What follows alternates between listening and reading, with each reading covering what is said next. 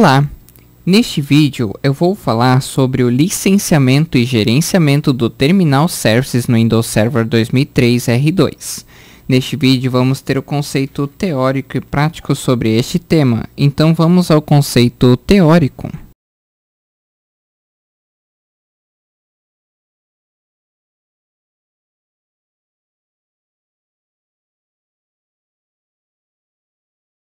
Conceito teórico do Terminal Services. Esta é uma tela print do gerenciador do, de configurações do serviço de terminal, uma tela que você vai ver durante o conceito prático neste vídeo. Sobre o TS, Terminal Server é um serviço que permite que você acesse o seu servidor remotamente trabalhando nele em modo gráfico como se você estivesse ali. O TS no Windows Server 2003 utiliza o protocolo RDP 5.2, que tem muitas melhorias em relação à versão 5.1 do Windows 2000 Server. Você pode instalar o cliente do RDP 5.2 no no Windows 9X, Windows ME, Windows NT, Windows 2000 e Windows XP, permitindo com isso utilizá-lo ao acessar um servidor Windows Server 2003 ou uma estação Windows XP via TS. Entre as novidades do TS do Win 2003 em relação ao TS do Windows 2000 Server, estas são algumas. Redirecionamento automático de impressoras e drivers mapeados, redirecionamento automático de áudio, redirecionamento automático de fuso horário, redirecionamento automático de portas seriais e paralelas, reconexão automática de sessão, muito útil em conexões via wireless, suporte a cores com 24 bits, suporte a encriptação de 128 bits, suporte a autenticação via smart card, alocação dinâmica de banda e restrições via GPO. Características técnicas. Então, a primeira coisa que nós temos que esclarecer é que o Terminal Server e o Terminal License Server são dois componentes diferentes. Terminal Server é o componente que permite que os clientes se conectem a um serviço de Terminal Server. Terminal License Server é o componente que oferece as licenças para os clientes que usam o serviço de terminal não é preciso que ambos rodem na mesma máquina. No entanto, o serviço de terminal server requer o Terminal Server Licensing para operar. Pré-requisitos: CD de instalação do Windows Server 2003, mídia de instalação, a License Agreement para as TS Call, possibilidade de se reiniciar o servidor caso a função do servidor terminal irá ser instalada, e seguir corretamente os passos deste tutorial. Vamos à instalação do TS. Clique no botão iniciar, painel de controle, ferramentas administrativas, clique em assistente para configurar o servidor, clique em avançar e avançar. Se aparecer uma mensagem avisando que uma das conexões de rede não está funcionando, isto é normal, pois indica que o seu computador tem duas placas de rede instaladas, mas somente uma está conectada, bastando clicar em continuar. Clique na opção Terminal Server e clique em Avançar aparecerá uma mensagem informando que o servidor terá de ser reiniciado durante a instalação do TS. Ao ser reiniciado, o Windows Server 2003 mostrará uma tela informando que o servidor agora funciona como terminal server. Finalizando então o Windows Server com o TS habilitado pode trazer mais usabilidade, comodidade quando for acessar remotamente o servidor. Por ser um aplicativo MT, o mstsc.exe nativo do próprio sistema operacional Windows, XP, Vista, 7 e 8, traz comodidade comodidade de não precisar instalar um, nenhum aplicativo de terceiros no Windows no cliente do Terminal Services. Página de referência, então instalando e configurando o Terminal Server no Windows Server 2003, fórum do Babu, babu.com.br, instalação e ativação do Windows Terminal Server License Part no 1, blogs.tecnet.com. Finalizando então, vamos ao conceito prático da instalação e configuração do terminal server no Windows Server 2003. Então vamos ao conceito prático.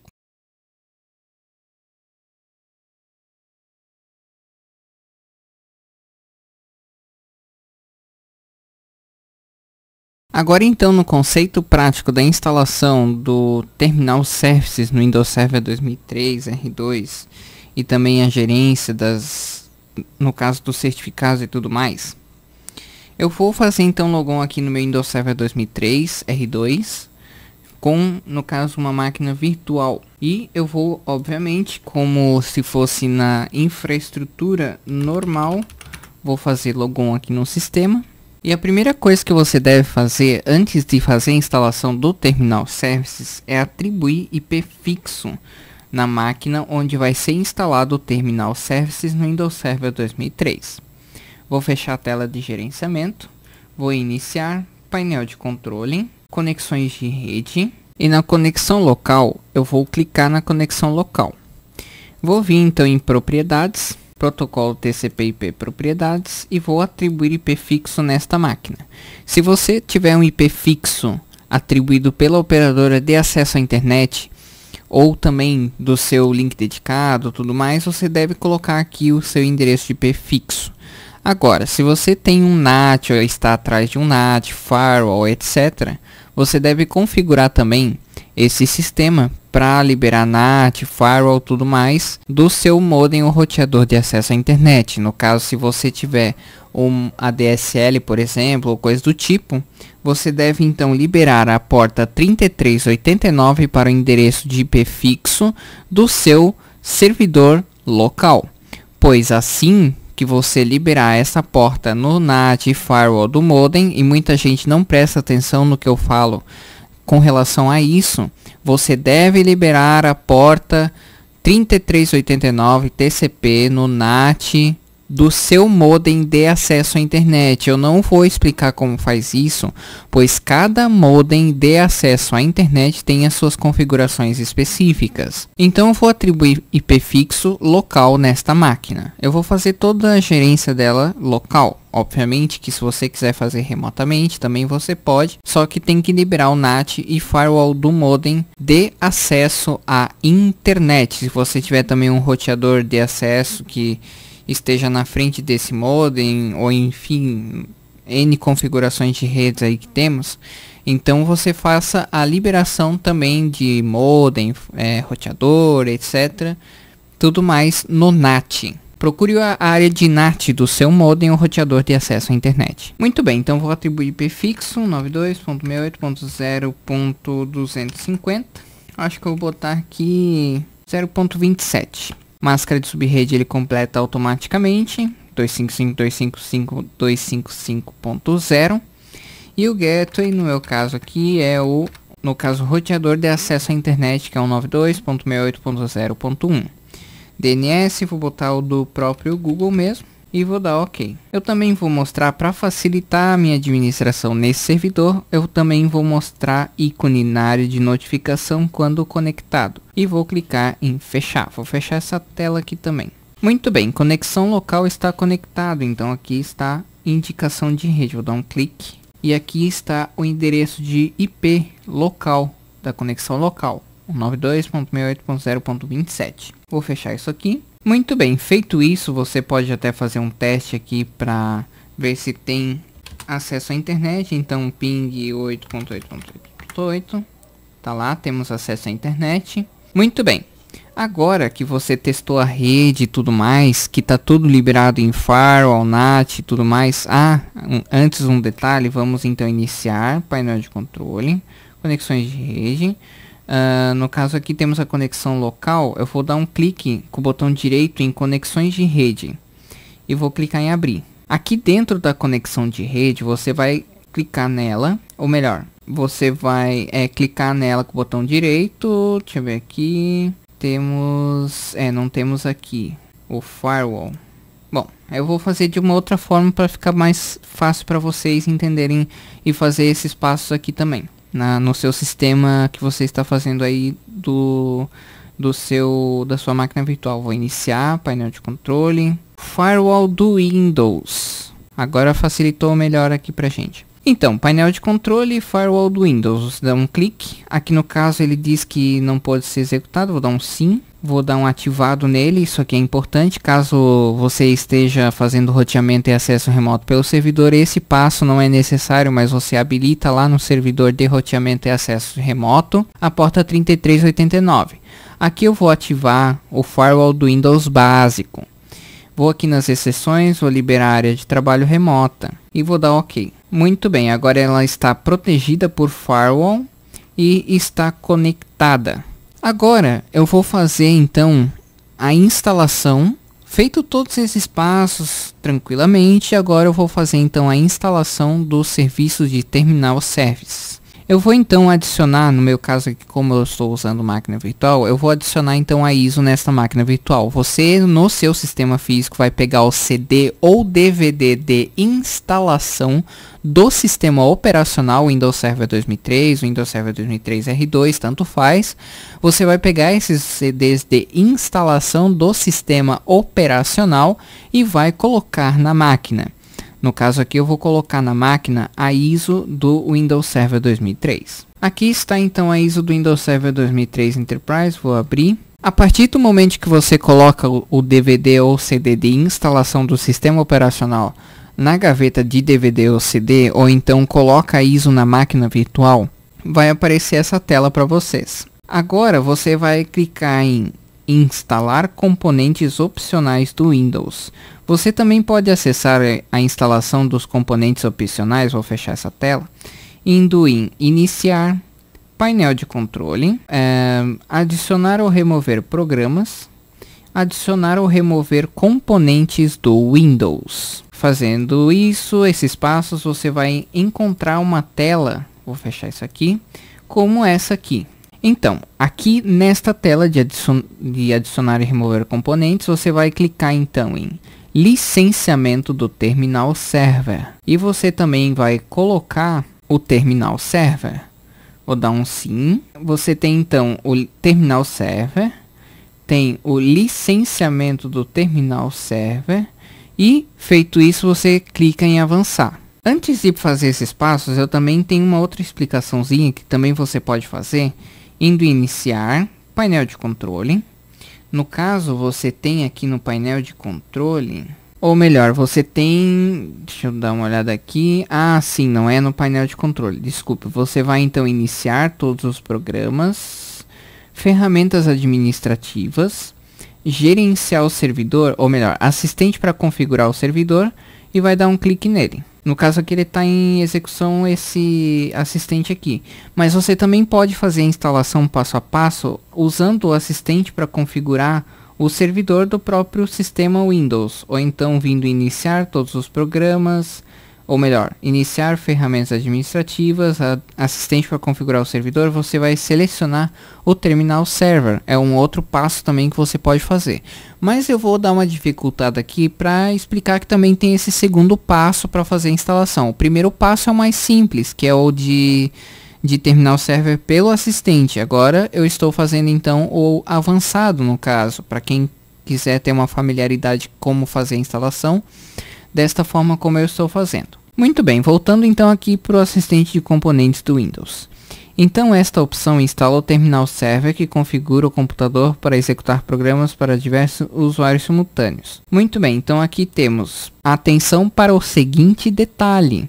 Licenciamento. Para continuar a usar o terminal server após um período de cortesia inicial de 120 dias a contar de hoje, você deve configurar um servidor que execute o licenciamento do terminal server. Bom, essa informação então eu já estou lendo para vocês porque vocês vão precisar também configurar este servidor para ser o servidor de licenciamento do terminal server. E vou clicar em avançar. Você tem agora nessa outra opção, você tem a segurança máxima que ele vai, é, no caso, fornecer um ambiente mais seguro para o terminal server. Porém, Uh, somente computadores ou servidores que estejam executando o Windows XP para cima ou então Windows Server 2003 para cima vão poder se conectar a esse servidor de licenças ou então esse, esse terminal server. Se você marcar a opção segurança reduzida apenas máquinas, ou melhor, todas as máquinas da rede, tanto Windows 2000, 2003, 98, etc, etc, ME, XP, Vista, etc, vão poder acessar este servidor de terminal server, no caso máquinas abaixo de Windows XP. E para segurança máxima, que é o que eu recomendo, é para máquinas de Windows XP, Vista 7, 8, 10 para cima e assim por diante. Então, selecionando segurança máxima, você clica em avançar. Nessa tela você pode usar um servidor de licença, por exemplo, localhost. Mas eu recomendo fortemente que você marque a opção usar servidores de licenças descoberto automaticamente.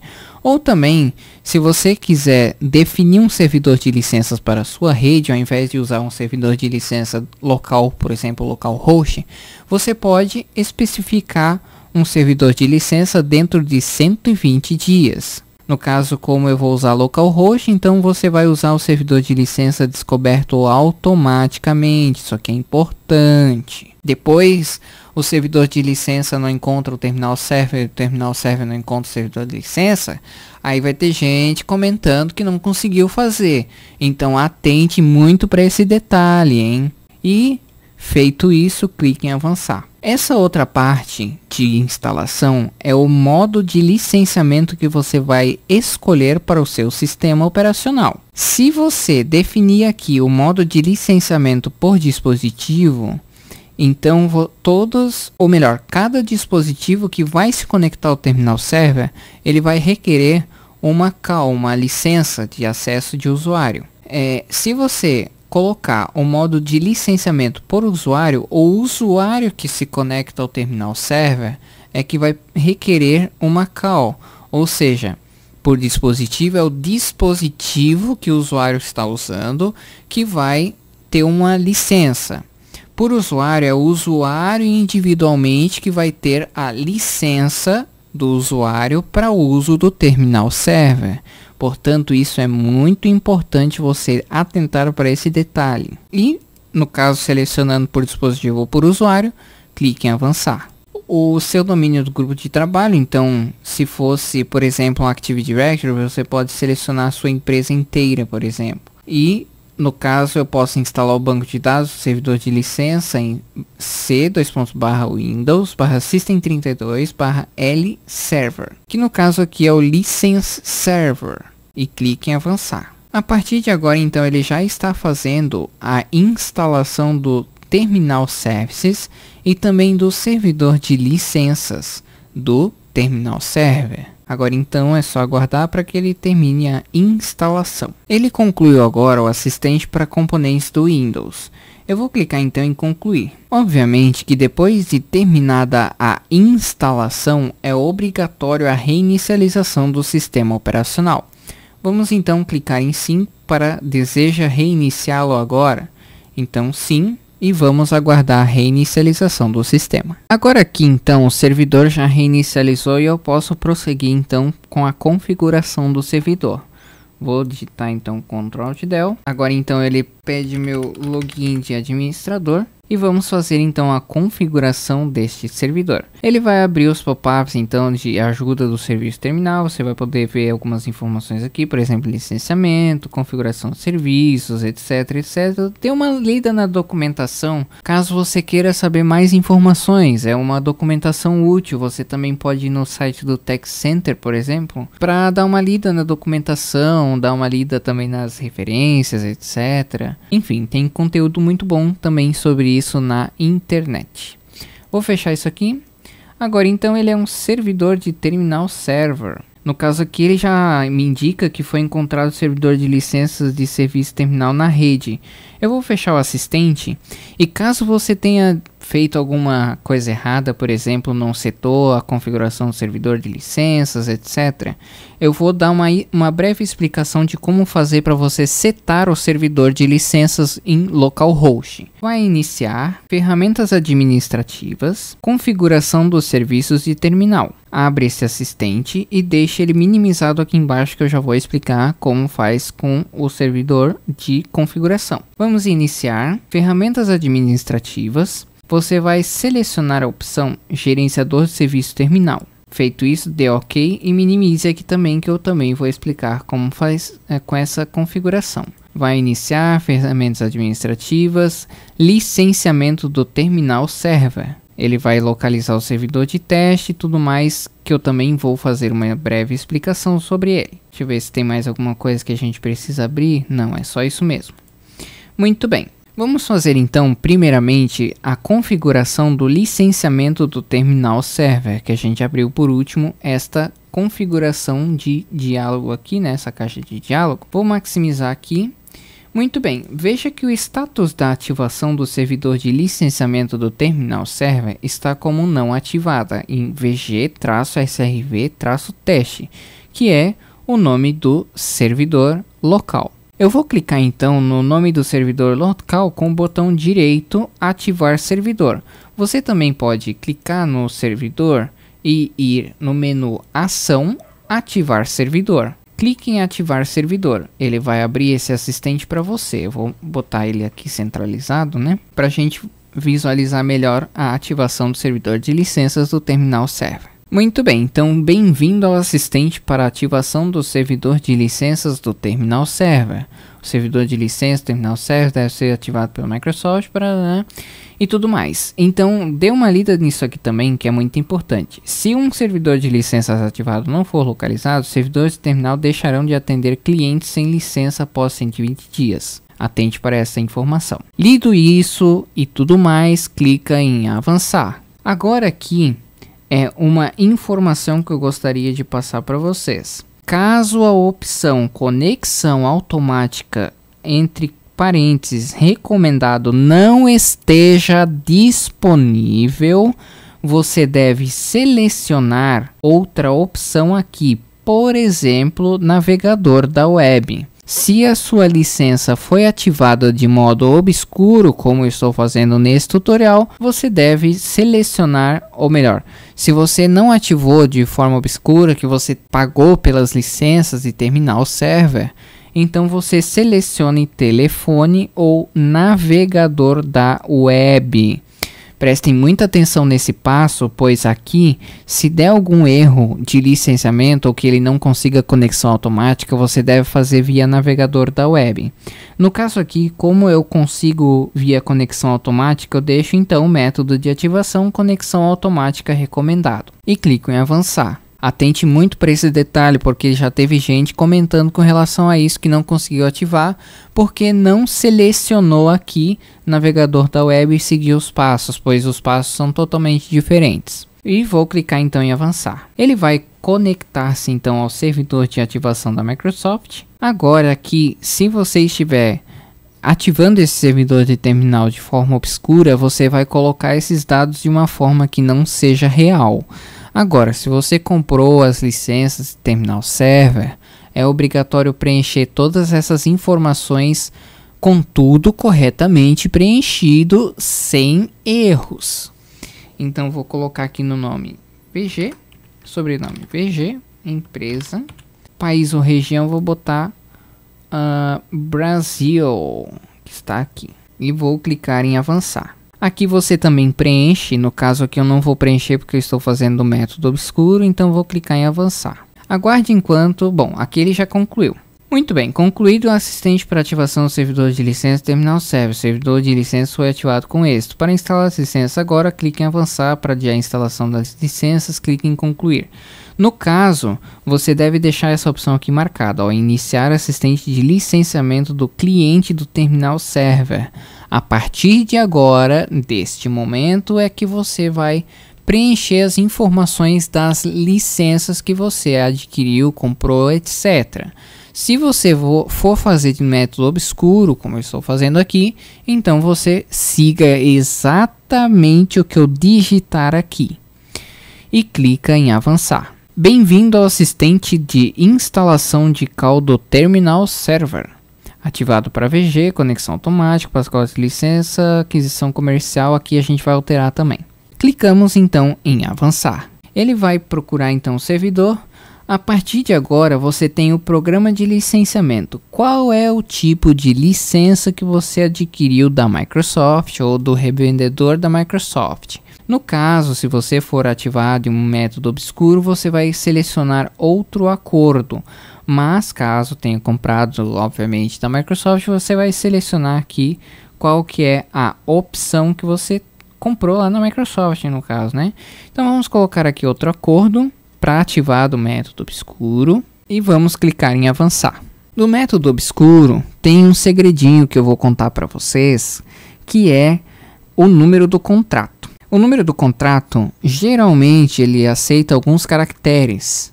E um dos caracteres que ele aceita, ou por vulnerabilidade do sistema, ou porque a Microsoft deixou isso para lá e não quis saber, eu digitei num certo dia o número zero e ele ativou normalmente. Vamos ver então se ele vai fazer esse procedimento agora. Eu vou digitar então aqui no número do contrato o número 0. Muito bem. Feito então é, ditado o número 0, eu vou selecionar então a versão do produto, que é o Windows Server 2003, e o tipo de produto que lembra daquela opção que você selecionou lá no início da instalação do Terminal Services, se é de, por dispositivo ou por usuário. Muito bem. Se você não lembra qual que você colocou lá, se é por dispositivo ou por usuário, você abre então a configuração do serviço terminal, dê um clique em configurações servidor e veja que aqui em licenciamento está por dispositivo. Então vou minimizar ele ali de volta, depois eu volto a explicar sobre ele com mais detalhes também. Então você vai selecionar aqui no tipo de produto, licença de acesso a cliente, serviço terminal por DISP ou por dispositivo. E seleciona ele. Aqui na quantidade vai ser a quantidade que você comprou na Microsoft. Como eu estou fazendo de forma obscura, vai 9.999 licenças. E clica em avançar concluindo o assistente para instalação da licença de acesso para cliente terminal server. O novo pacote de chaves de licença do cliente foi instalado com êxito. Clique em concluir. Muito bem, temos então aqui um servidor com status de ativação ativado. Vou dar um clique então no nome do computador, duplo clique no caso, e veja que aqui temos Windows Server 2003 Terminal Server device, no caso per device ou por dispositivo, de acesso no caso das licenças. Aqui temos zero emitido com 9.999 licenças. Vou dar um duplo clique aqui também. Aqui vai aparecer a lista de licenças emitidas. Muito bem, vamos então é, fazer para ativar mais licenças nesse servidor. Agora eu vou fazer por usuário. Caso queira alternar entre o dispositivo e o usuário, aí você pode instalar licença também por usuário. Eu vou em ação, instalar licenças, avançar, outro acordo, avança, número do contrato zero, avança, versão do produto Windows Server 2003, tipo de produto, licença de acesso de cliente por usuário do terminal server. Vou botar 9.999, avançar e está instalado então mais licenças do terminal server aqui. Aqui então temos por dispositivo e por usuário. Muito bem, então está instalado aqui no servidor. O servidor então de licenciamento do terminal server está pronto deste passo. Agora então vamos à configuração do serviço de terminal server. Vou fechar o, o servidor de licenças Aqui temos o gerenciador de serviço terminal. Aqui você vai poder ver quantas pessoas estão conectadas servidor, ordem logon, etc, entre outras informações. Nas sessões você vai ver aqui as sessões que temos dos uh, clientes, os computadores, etc, etc, e os processos que estão rodando em cada um do, dos usuários que se conectarem ao terminal server. Aí temos aqui também os servidores favoritos e todos os servidores instalados. Também tem aqui então a lista de processos, sessões e usuário. Neste gerenciador você só vai ter acesso a isso mesmo. Pode fechar isso aqui e vamos então à configuração do serviço terminal, configurações do servidor, no caso aqui, então você vai receber esse configurações serviço terminal desta forma. Vou expandir ele aqui. Vamos então primeiro nas conexões. Eu tenho então aqui a conexão RTP TCP, transporte TCP, Microsoft RTP 5.2. Vou dar duplo clique nele. Aqui você pode colocar um comentário, vou botar VG. Aqui você pode, na camada de segurança, você pode colocar camada de segurança RTP ou negociar. É, no caso aqui, a camada mais segura para a qual o cliente oferece suporte será usada. Caso, caso haja suporte, o TLS 1.0 será usado, ou seja, ele pode negociar uma camada SSL dentro do RDP. O nível de criptografia você pode colocar baixo, compatível com o cliente, alta, compatível com FIPS, etc. Mas eu vou deixar então compatível com o cliente que é a melhor coisa. Você também pode é, marcar a opção usar a interface de logon padrão do Windows e clica em aplicar. Vamos então à próxima guia. Aqui estamos na guia geral. Vamos a configurações de logon. Você pode usar informações de logon fornecidas pelo cliente. Você pode também sempre usar as seguintes informações de logon. No caso, quando o usuário abrir o terminal server, já vai aparecer lá o nome de usuário, um domínio, a senha, confirmação de senha. Ou também você pode também marcar a opção sempre pedir senha. Para a segurança também do servidor, né? Sempre pedir senha é uma boa. No caso aqui eu não vou fazer porque eu estou fazendo obviamente de teste e vai atrapalhar os testes aqui que eu estou demonstrando para vocês. Mas façam isso, sempre e senha. Sessões. Aqui no caso, use esta guia para definir as configurações de tempo limite e reconexão do serviço terminal. Você pode ignorar as configurações do usuário, por exemplo, o usuário vai setar lá eu vou demonstrar isso no futuro, para uma sessão, por exemplo, você pode finalizar uma sessão desconectada durante alguns minutos, limitar o tempo de sessão ativa, o tempo de é, sessão ociosa, e também posso ignorar as configurações do usuário quando o limite da sessão for atingido ou a conexão for interrompida, para desconectar-se da sessão ou finalizar a sessão. Também eu posso fazer isso. Obviamente que daí eu tenho que marcar essa checkbox e também tenho que marcar essas opções que agora para mim não aparece aqui para mim. Feito isso, então vai em ambiente. Temos aqui o programa inicial, que no caso aqui ele pode não permitir que um programa inicial seja iniciado, sempre mostrar a área de trabalho. Eu posso executar o programa especificado pelo perfil de usuário do cliente de, conexão da área de trabalho remoto ou do serviço terminal. No caso aqui eu defino lá por script, né, no terminal server eu defino lá que o usuário vai abrir o logon.bat sempre que ele inicializar o, o, o logon dele no terminal server. Ou também eu posso iniciar o seguinte programa quando o usuário fizer logon. Eu marco essa caixa, coloco um nome de arquivo do programa, por exemplo, c dois pontos barra windows barra system32 barra netlogon.bat ou então executa script.bat, alguma coisa do tipo, e eu posso iniciar esse script bat também, ou então um chrome.exe, enfim, qualquer outro tipo de programa, ou então um programa.exe, e eu posso inicializar ele no C users administrador, ou então C user usuário uh, desktop, e enfim, você pode também definir aqui. Nas permissões é quem tem a permissão para acessar o serviço de terminal server. No caso aqui, os administradores ó, têm controle total. Serviço de rede não tem nada. Serviço local também não tem nada. Sistema, controle total. Usuários da área de trabalho remota. Os, os usuários de área de trabalho remota só têm a permissão para acesso do usuário e acesso a convidado, mas não tem permissões especiais e também não tem controle total. Então todos os usuários que você quiser que esse faça logon no terminal server, você vai então colocar no grupo usuários de área de trabalho remota no Active Directory ou na configuração do servidor. Feito isso, então vai em adaptadores de rede. No caso aqui temos todos os adaptadores de rede configurados com esse protocolo. Aqui você pode também selecionar se você tiver 3, 5, 10, 20 adaptadores de rede, você pode selecionar esses adaptadores de rede aqui para usar o RDP TCP. Uh, ah, muito bem. Agora aqui prestem muita atenção. Se você não ativou o serviço terminal ou se você não tem o terminal server ou o licenciamento do terminal server, as conexões vão ser limitadas a apenas duas conexões. Você só tem a opção de selecionar conexões ilimitadas se você tiver um servidor de licenças. Ou seja, se você instalou, configurou o servidor de licenças, você vai ter a opção de conexões ilimitadas. Se não, a conexão estará restrita a apenas duas conexões. Muito bem, dito isso, porque eu quero que isso fique bem frisado, porque já teve gente me perguntando com relação a isso e eu respondi e a pessoa não entendeu.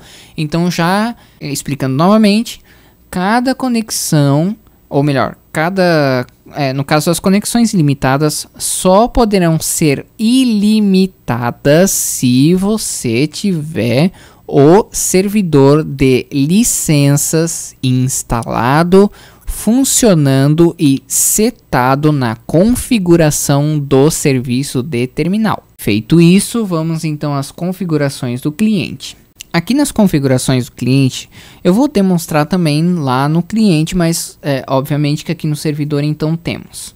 É, você pode alterar as configurações do cliente no servidor, ou seja, o cliente setou lá para, por exemplo, mapeamento de áudio, ele quer escutar áudio, mas você como administrador não vai deixar, então você pode marcar aqui para ele não ouvir áudio no terminal server. Então vamos às configurações que podemos fazer no servidor para que o cliente, para que ele reescreva as configurações do cliente. Então temos a conexão, usar configurações de conexão do usuário. No caso aqui eu posso desmarcar isso aqui para ele conectar unidades do cliente, fazer logon, conectar impressoras, definir impressora cliente principal como padrão, etc, etc. E também eu posso limitar a, a profundidade máxima de cor para no caso 8 bits, 15 bits, 16 bits, 24 bits. Por que eu vou limitar a profundidade máxima de cor? Para economia de banda, por exemplo, se você, é, no caso, quiser esse terminal server para fazer é, acesso remoto na internet, esse servidor, esse servidor ele vai ocupar uma banda muito considerável de acesso à internet. Então, já avisando que quem tem ali 1 mega full duplex já não vai ter como usar um, uma é, cor de 24 bits, por exemplo. Você vai ter que então definir um pouquinho mais baixo, de 8 bits, 16 bits talvez. No caso aqui, para nosso exemplo, então eu não vou limitar a profundidade máxima de cor, mas você pode fazer essa limitação para economia de recursos e também economia de link, no caso, né? Se você tiver ali um link dedicado, ou então uma DSL, enfim. Aí você pode fazer isso também. Você pode desativar, reescrevendo as configurações do usuário no caso, né? Se o usuário definir lá, você pode reescrever ela aqui. Desativar o mapeamento de unidade, nenhuma unidade será mapeada. Mapeamento de impressoras do Windows, nenhuma impressora será mapeada se você marcar. Mapeamentos de porta LPT, nenhuma porta LPT vai ser mapeada se você marcar. Mapeamento de portas com se você marcar, não vai mapear a porta com. Mapeamento da área de transferência não vai mapear a área de transferência se você marcar. E também o um mapeamento de áudio, que por exemplo, ele está marcado. Então, o cliente que se conectar a esse servidor não vai ter áudio no, no terminal server. Ele não vai poder escutar música, não vai poder escutar áudio, enfim, né?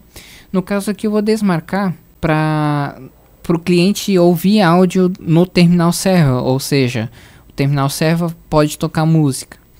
E vou clicar então em aplicar. Já vou aplicando aqui para deixar tudo prontinho para quando eu fechar ele já está pronto. Mas você vai fazendo com calma e tudo mais, depois isso aqui vai ser muito automático. Eu faço isso até no automático. Mas enfim, vamos lá. Então, para terminar essas propriedades do RDP-TCP, temos controle remoto, que daí você pode usar o controle remoto para controlar, observar remotamente a sessão do usuário. Eu posso usar o controle remoto com as configurações padrão do usuário, eu posso não permitir o controle remoto, ou posso usar o controle remoto com as seguintes configurações. Aí ele vai, é, se você marcar usar o controle remoto, ele vai ter aqui marcado exigir permissão do usuário, exibir a sessão, interagir com a sessão, etc. e outras configurações. Muito bem, dito tudo isso, você também pode aqui selecionar um certificado se você tiver uma unidade certificadora aqui no sistema operacional, você também pode marcar aqui um certificado. O certificado é SSL, TLS, enfim, igual de um servidor web. No caso aqui, esse certificado não tem nada a ver com o licenciamento terminal server, é um certificado de servidor. Agora então, feito tudo isso e dito tudo isso, eu vou clicar então em fechar. Muito bem, aqui então está pronta a configuração do RDP-TCP, com as conexões, clientes e tudo mais. Eu vou dar um clique agora nas configurações servidor. Então temos agora as configurações padrão do servidor. Para excluir pastas temporárias ao sair, sempre que você clicar nele, der duplo clique, você pode selecionar aqui sim ou não e dar OK. Você pode excluir pastas temporárias ao sair, no caso ali o atributo é sim. Usar pastas temporárias por sessão, no caso aqui está marcado sim. Licenciamento, aqui você pode alterar o licenciamento é, marcando por dispositivo por usuário. E também temos aqui o, o Active Desktop, que está desativar. No caso, para é, conservar os recursos do servidor, você pode desativar o recurso Active Desktop. No caso aqui eu vou deixar o Active Desktop ativo para que o usuário possa ter uma área de trabalho, eu possa colocar um papel de parede na área de trabalho, por exemplo.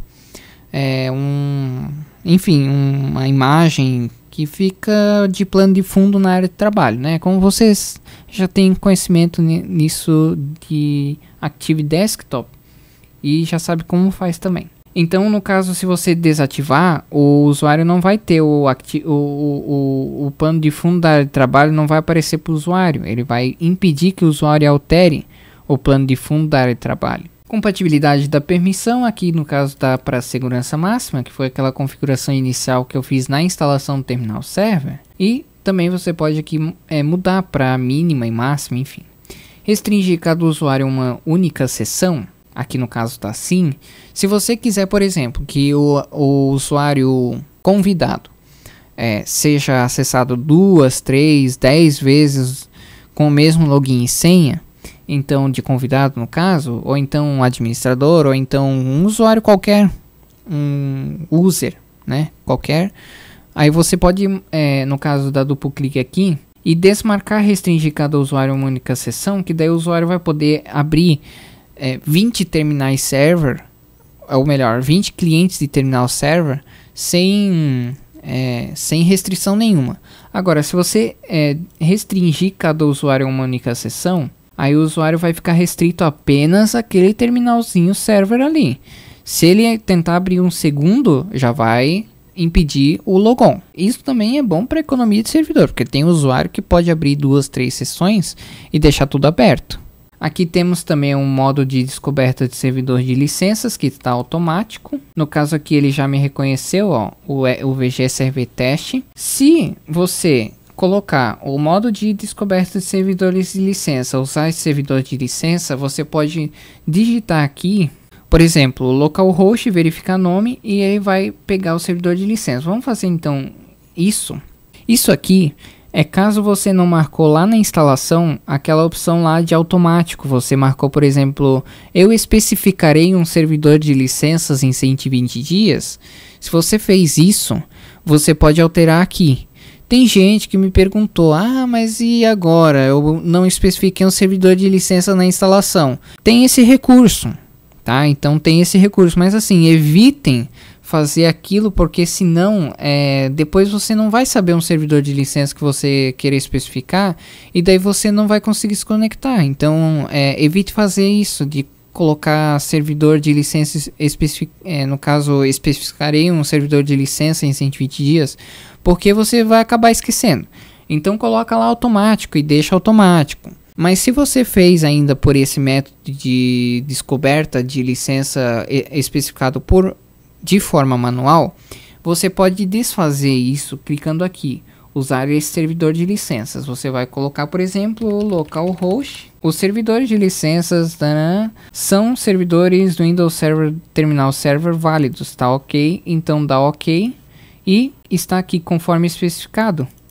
Então aqui temos o servidor de licença que está especificado. Eu coloco então automático para ele pegar automático. O diretório de sessões eu posso ativar e desativar. No caso aqui, ele pode ingressar no diretório de sessões para, no caso, especificar um nome de cluster, nome do servidor diretório, etc, etc. Muito bem, então está pronta as configurações do servidor e é isso. Agora então vamos fazer então um teste de conexão no cliente. Então vamos fazer esse teste usando aí o Windows 7. Agora aqui no cliente do, no caso do servidor, que eu estou usando aqui o Windows 7 para como cliente no caso, é, antes de inicializar o cliente aqui, eu vou dar uma explicação ainda com relação à especificação de servidor de licença. Por exemplo, assim, você tem um servidor de licença já estabelecido na sua rede local uh, que você comprou as licenças e tudo mais. Pois bem, é, no caso de especificar um servidor, um servidor de licença, você vai ter que abrir no firewall do servidor também a opção de compartilhamento de arquivo e no caso desse servidor ele vai poder emitir licença para aquele servidor que você acaba de instalar, por exemplo. É uma opção também. Você pode, é, no caso eu falei sobre, é, no caso eu especificaria um servidor de licença, mas se você especificar um servidor de licença logo de início, é uma boa ideia também. Não é que você não possa também especificar um servidor de licença, também não é isso. É que você pode, no caso, especificar um servidor de licença, mas é, no caso de, de especificarei um servidor de licença 20 dias, é, é um pouquinho ruim fazer essa opção. Muito bem, dito isso, então vamos aqui no iniciar todos os programas, acessórios, conexão de área de trabalho remota e eu vou aqui mostrar opções. Muito bem, eu vou começar então pela guia avançado, que é a guia que eu geralmente costumo começar por aqui e vou fazendo então as guias. Muito bem, autenticação do servidor. A autenticação do servidor verifique se você está se conectando ao computador remoto correto. Muito bem, se a autenticação do servidor falhar, aqui como ele não, tem os, não está usando o servidor autenticado, que não tenha o, o certificado servidor, então você vai selecionar aqui conectar e não me avisar. No caso de gateway, você não, usa, não vai usar um servidor de gateway da área de trabalho remoto, porque você também não vai ter um no caso do servidor Windows Server 2003. Experiência. Lembra daquela opção sobre os bitmaps do, do usuário, que o usuário vai poder se conectar ao servidor usando a configuração dele? Então aqui na experiência ele vai poder colocar então modem 56 kbps, ele vai selecionar apenas as opções permitidas para 56 kbps, banda larga de alta velocidade 256 kbps a 2 megabits por segundo, ele vai permitir apenas estilos visuais. No caso de satélite 2 megabits a 16 megabits com alta latência, ele vai fazer a composição da área de trabalho e também estilos visuais. Banda larga de alta velocidade de 2 a 10 mega, ele não vai selecionar nada. One 10 megabits por segundo ou mais rápido com alta latência, ele vai permitir tudo. LAN 10 megabits ou superior vai permitir tudo e também detectar qualidade da conexão automaticamente. Você pode selecionar WAN ou LAN, no caso que eu vou selecionar LAN, e pode ir clicando aqui para marcar e desmarcar tudo que você não quer que esse servidor tenha. No caso aqui eu quero que eu não quero armazenamento persistente bitmaps em cache, então eu posso desmarcar isso aqui. Posso reconectar se caso a conexão seja interrompida, também posso marcar isso aqui ou não também. Programas, eu posso iniciar o programa na conexão, então ele é, naquela configuração de servidor, ele define para todos os usuários. Aqui eu posso definir manualmente apenas para esse usuário da conexão de área de trabalho remota. Recursos locais, então temos áudio remoto que eu posso reproduzir neste computador. O gravar deste computador para gravação de áudio remoto, ele não funciona na edição do Windows Server 2003, apenas 2008 para cima e vou dar OK.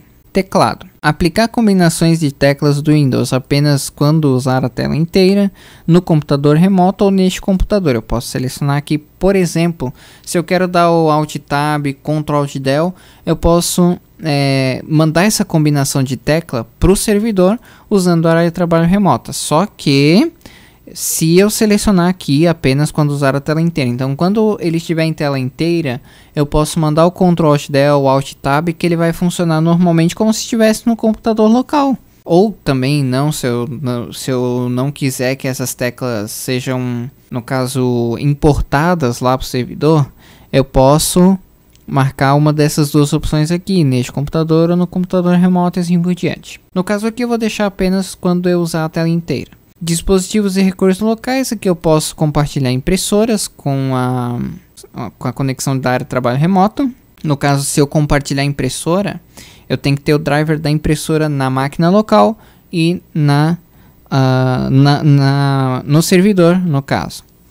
Área de transferência, posso marcar essa opção para ter área de transferência, aquele Ctrl C, Ctrl V, é área de transferência. Aqui eu posso clicar em mais para poder também marcar os cartões inteligentes, mapear portas, unidades de rede, descolocar o C, o D. Aí no caso o D e o C eles vão lá para o servidor. E também eu posso marcar a opção unidades às quais será feita uma conexão mais tarde. Outros dispositivos de plug and play com suporte, dispositivos conectados mais tarde. Aqui no caso, se tiver algum dispositivo é plug and play, ele pode ser transferido também para o servidor. No caso aqui eu não vou querer usar nenhuma dessa opção, vou dar OK. Exibição, eu posso colocar então aqui tela inteira, 1280 720, 800 por 600, 640 por 480. Aí a janelinha vai ficar pequena.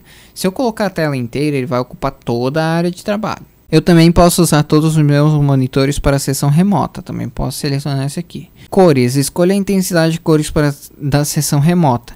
Aqui é aquela configuração lá de 16, 30, para economizar a rede. Eu posso selecionar, por exemplo, um de 15 bits, 16 bits, 24 bits. Agora, se eu tenho uma rede muito boa, uma internet muito boa e tudo mais, e eu quero gastar os recursos do servidor, eu seleciono então alta qualidade de 32 bits. Essa opção aqui é importante também, exibir a barra de conexão quando eu usar a tela inteira, então vai ficar uma barrinha aqui em cima no topo da tela. Geral, então vamos dar o nome do computador, no caso a gente vai digitar então o endereço de IP, que é o 92 ponto ponto zero ponto vinte sete que é o endereço de IP do servidor. Já vou botar o um nome de usuário aqui, administrador. Administrador, para que ele não fique me perguntando sobre o nome do usuário, apenas sobre a senha. E vou clicar então em conectar. Ele vai dizer, perguntar, fazer essa pergunta. Você confia nessa conexão remota? Ele vai perguntar o computador remoto, ok? Vou clicar aqui em mostrar detalhes. Então ele vai transferir a área de transferência e gravação de áudio. Eu vou marcar aqui para não me perguntar novamente sobre conexões com este computador. E vou clicar então em conectar. Feito isso, veja a barrinha aqui em cima que a gente definiu para que ela fique aqui. Eu também posso desafixar essa barra de conexão marcando esse esse ícone aqui. Aí, quando eu tirar o mouse de cima, ele some a barrinha. Se eu passar o mouse, ele volta a barrinha. Agora, se eu quiser que essa barrinha fique permanentemente aqui, eu marco isso aqui. Vou então fazer logon lá como administrador. E ele carregou aqui um novo perfil, uma nova conexão para mim naquele servidor. Eu estou então dentro do servidor. Veja que eu posso fazer administração do servidor, tudo mais, gerenciar o serviço terminal. Agora veja que aqui no gerenciador do serviço terminal tem o, administrador conectado no console e também o RTP TCP 1. Eu posso vir nas sessões também para fazer o monitoramento e também tudo que está conectado aqui ao servidor e também os aplicativos que estão rodando no servidor, é, no caso dividido para cada usuário. No caso que o administrador, ó, em RTP TCP1 está rodando em Logon, uh, VBox Tray, TS Admin, etc. Vou fechar isso aqui. Você também pode ver os usuários que estão conectados na área de trabalho remoto, clicando na barrinha com o botão direito, gerenciador de tarefas e ir na aba usuários. Você pode então marcar é, no caso, ver aqui quais usuários estão conectados. Aqui tem o administrador, no caso, tanto por console quanto por RDP TCP. Muito bem, então está feita aí a conexão remota e é isso. Então, é, no caso, a conexão foi estabelecida, está tudo ok. Para liberar em NAT Firewall, você vai pegar esse endereço de IP e vai liberar em NAT Firewall uh, para ter acesso, a acesso direto a esse servidor, tudo mais. E também vai liberar no firewall do sistema porta 3389, que é a área de trabalho remota. Fazer logoff aqui para fazer então encerramento e as considerações então finais. Só para dar uma, uma falada em então com relação a isso, ao terminal server, que assim, recursos do servidor você vai gastar bastante ou pouco, dependendo do número de usuários que você conectar. O número de, de usuários vai ser limitado apenas por, uh, no caso, por licenças de usuário. Se você botar 9.999, vai ter 9.999 possibilidades de usuários para conectar-se ao servidor. Uh, isso tudo ao mesmo tempo ou não também se preferir, enfim, vai é, no caso vai da sua configuração mesmo. Uh, então, dito isso, então estamos encerrando este tutorial por aqui, então até mais.